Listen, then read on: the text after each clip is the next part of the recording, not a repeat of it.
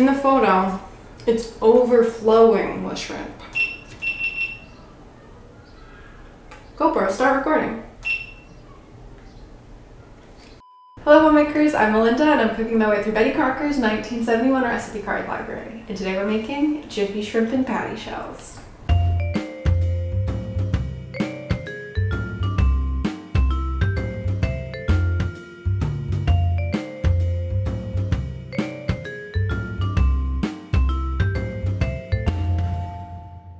Alright, Jiffy Shrimp and Patty Shells is from Section T, Impromptu Party Fare, and it's card number 7. I've only made one other card in the, in the Impromptu Party Fare section, and it was Crusty Salmon Shortcakes, and I feel like this is very much a cousin to that because it's a different type of seafood goo put on a bread thing.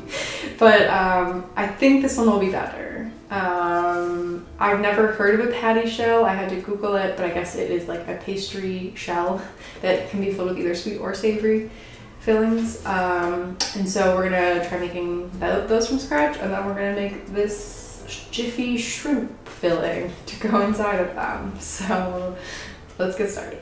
For Jiffy Shrimp and Patty Shells, we will need some bacon, some minced onion and celery, a can of mushroom stems and pieces, which I've never had before, um, two cans of tomato soup, uh, two cans of shrimp, but we are going to frozen shrimp instead, and then some chopped bell pepper and the baked patty shells. So I'm going to use this pastry sheet to make patty shells.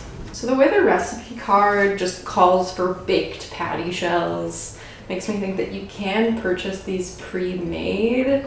I've seen like Pepperidge Farm brand frozen patty shells that you still have to bake, but they're at least assembled already. But uh, I couldn't find those at the store, so I found a recipe online for how to make them using a puff, pa puff pastry sheet. um, so I'm just gonna follow those instructions and hope for the best. Um, so I have um, puff pastry that's pretty much still frozen. It's been sitting out for like five minutes now and I kind of broke it apart as I was unfolding it because it doesn't really matter. What I'm gonna do now is do a quick little egg wash on this. And that's supposed to help the patty shells stick to one another. You'll see, I'll be stacking some things. And it'll also give it a nice brown color when it's in the oven. I picked this recipe just because it has an interesting name. Like Jiffy shrimp in patty shells. Jiffy patty. Um, I've never heard of a patty shell before. We'll see if this recipe is indeed jiffy. um, I have a feeling it'll still take me a bit of time. now we have two size circle cutters. And what I'm gonna do is I'm gonna cut two circles out of each section. So then what we're gonna do is cut a hole in one of them. Press, I'm pressing all the way through, but I'm gonna push it out like this. And there's different ways you can kind of do this, but as long as you get the same result. So this is gonna be kind of the edge. This is the bottom of the little cup. This is the side of the little cup. And this is the top half of the little cup that we're gonna take out. So then you stack it on top, and like I said, the egg is gonna kind of seal it together. And that's one. So we just have to keep doing that until we get all of them assembled. So, okay, so we have four patty shells and just a bottom. so these are gonna go in the oven for 20 to 25 minutes until they're completely puffed and we'll see what happens. All right, our patty shells are out of the oven and they turned out really cute. I mean, they're a little floppy, but that's okay. um, so we're gonna let them cool for a little bit and then you try to like take the hat off, which the hat seems a little connected, but we'll see what we can do. We're gonna let them cool. And I have all of my mise en place ready to go over to the stove top and make the filling. But I wanted to, on camera, open up these mushrooms because I'm very concerned about them. And uh, they make me nervous and I thought you'd want to see my reaction to that. So, um, yeah, I, I don't know. I don't know about this. Pieces and stems, mushrooms. This can is so dusty when I took it off the shelf at the grocery store, which means to me that not a lot of people are buying mushrooms in a can, but it's best by 2026. So smells like mushrooms. Oh, why is that liquid that color? why is it pea colored? okay. Yeah, I guess they don't look that bad. They don't look as bad as I thought they would. They kind of smell like um, my parents will cook mushrooms in butter and they get kind of this color and texture when you like steam them in butter. So maybe they'll be good. Okay, well. Yum.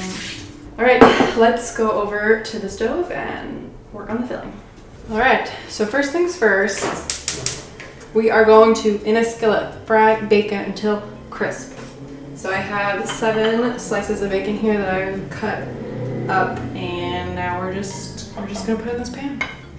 And there's a lot of fat there. And we're gonna reserve some of that fat to cook the rest of the vegetables in. So this is our little crispy bacon topping. Once that cools down, I'll crumble it a little bit. And then, let's see, pour off all but one quarter cup of bacon drippings from skillet. So I'm gonna attempt, maybe I'll just pour the whole thing in this cup.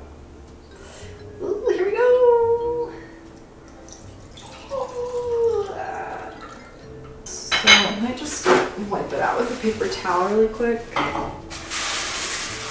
Mmm. I'm gonna put a quarter cup, they said, back in. And then the celery and the onions going in. Ooh. We're gonna cook that down until the onion's a bit translucent and the celery is tender, and then we'll continue adding ingredients. All right, the onions are starting to get tender. I forgot that I was supposed to put the mushrooms in at the same time as the others, so I did that. And everything's looking, starting to look cooked, starting to good. Starting to get some, uh, some brown on them. So I think what I'm gonna do is start in the soup, shrimp, and green bell pepper. So I got some pepper. The mushrooms actually look good now that they're being sauteed. Like I just saw a little brown little dye. The shrimp's going in.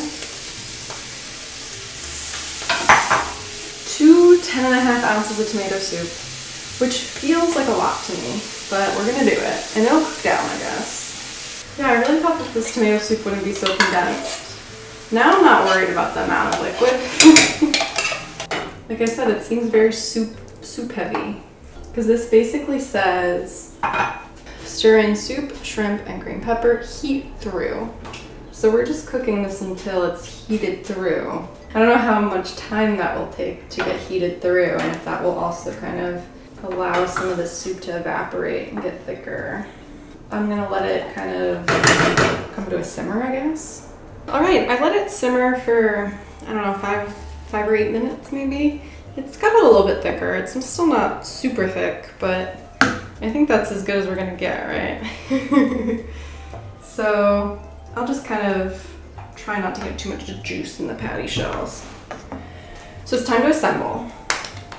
And we do have to cut the hats off the patty shells. So I'm gonna do that first.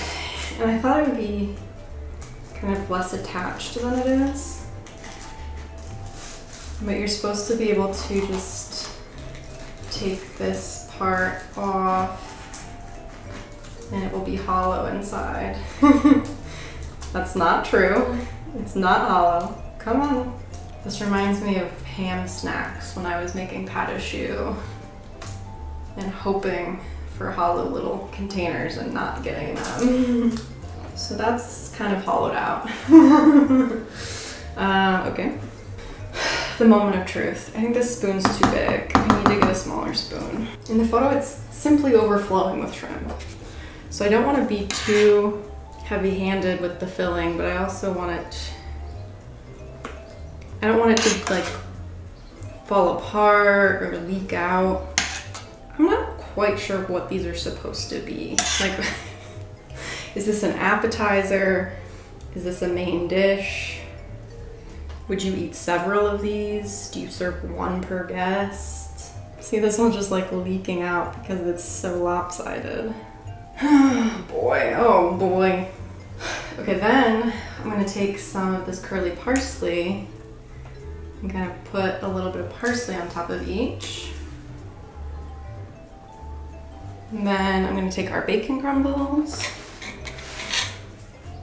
and do a little bacon crumble on each.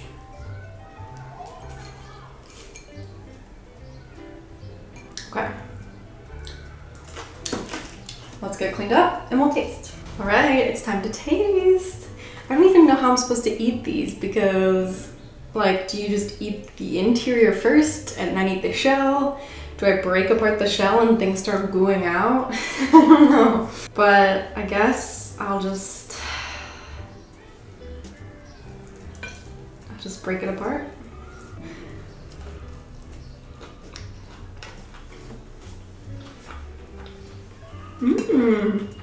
Why is the most prominent flavor bell pepper? the shrimp in a tomato sauce is interesting. I don't hate it. It's kind of good. Shrimp and bacon is also interesting. Now that I'm like peeling off layers like this, it reminds me of like a Grand's Layers Pillsbury biscuit. Do you know what I'm talking about? Maybe this is the this is the appeal of the patty shell, is that you can kind of eat it in layers. like you eat a little bit of filling, pull off a layer of shell, eat a little more filling, pull off a layer of shell, like this. Mm. I was concerned that there was no salt or pepper in this recipe. but I think the bacon fat helped. The bell pepper is so interesting. I think also because you put the bell pepper in at the end, it really doesn't get a chance to like caramelize. So I'm like, when I'm biting into a bell pepper, it's like a kind of raw bell pepper. but I think these are really interesting. I wanted to read the back of the card because she says, Begin this elegant spur of the moment lunch with cranberry frost below, and serve your own special green salad with confetti dressing also below.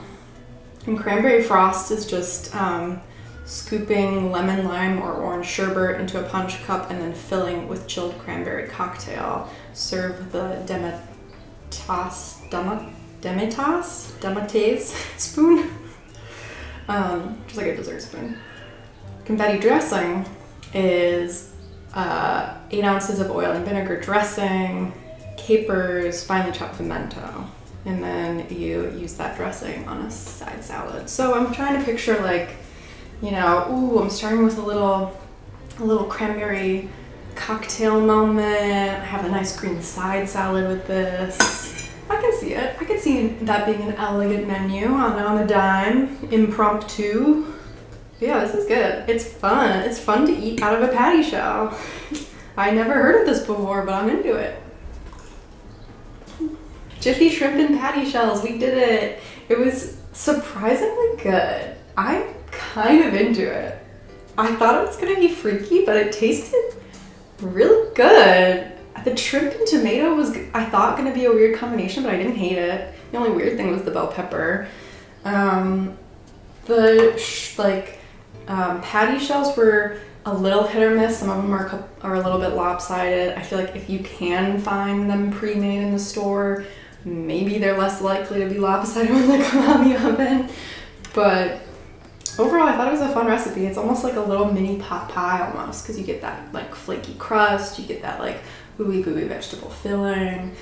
Um, yeah, unexpected, but like kind of cute and like attractive on the plate. Fun. I'm into it.